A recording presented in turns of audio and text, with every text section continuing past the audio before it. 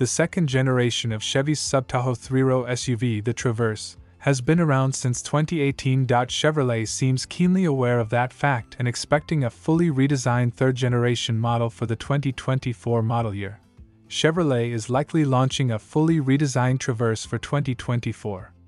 Anticipate heavily updated styling with influence from the 2023 Colorado and 2024 Blazer EV, but doubt Chevy will employ an electric powertrain at launch. Instead, the 2024 Traverse may rely on a powerful turbocharged four cylinder. Expect a huge infotainment display with Google integration, similar to what's installed in higher trims of the current Silverado. The previous generation Traverse had its strengths, but it stuck around long enough to be surpassed by most of its rivals. It placed sixth in a nine vehicle three row comparison test.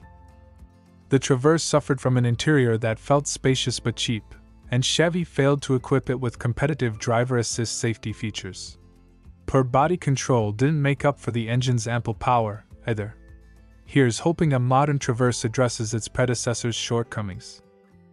Chevrolet is likely developing the new Traverse targeting an IIHS Top Safety Pick or Top Safety Pick Plus as well as a 5 star overall safety rating from the NHTSA.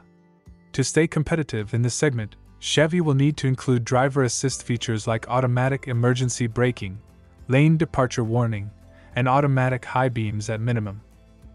Chevy will no doubt improve on the 7.0 and 8.0 inch touchscreens fitted to the outgoing Traverse.